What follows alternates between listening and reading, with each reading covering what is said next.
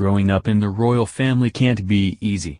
While it might not be as difficult as marrying into the family, just ask Meghan Markle, it's still a lifestyle that these children didn't choose. And while being a royal definitely has its perks, Prince Harry and Meghan have decided they're going to do their best to give their son Archie as normal of a life as possible. But at the end of the day, he's still cousins with Prince William and Kate Middleton's kids. And with that, we suspect he'll develop a very close relationship with Prince Louis. The Sussex and Cambridge children are being raised in two very different ways. Harry and William grew up two peas in a pod. They went through a lot together and were always by each other's side.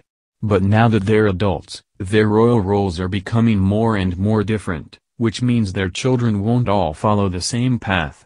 William and Kate are the future king and queen, which means they have no choice but to remain in the public eye. And with that, their kids will grow up directly in the spotlight.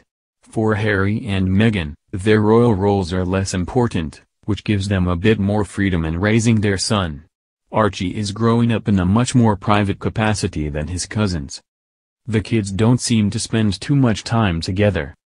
Right now, the royal cousins don't seem to spend a lot of time playing together. It could be because of tensions between William and Harry or simply because the royal couples are always on very different schedules. Regardless, royal expert Emily Andrews said that when Archie was born, his cousins didn't meet him for two months.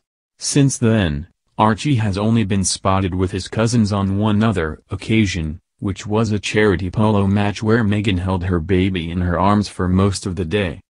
Archie and Louis' close agent lack of importance will likely help them form a bond. Over time, Archie will start to learn more about his family, and it makes sense that he will eventually form a close bond with his cousin Louis. Archie and Louis have a lot more in common than we think, they're two boys who are only about a year apart. But their biggest commonality is their lack of royal importance. Of course Archie and Louis important to their families, but from a royal standpoint, they aren't. Neither Archie nor Louis will likely ever rule, when it comes to the Cambridge children, Prince George is the most important because he's the future king. Princess Charlotte is adored by the public because she's the only girl in the family.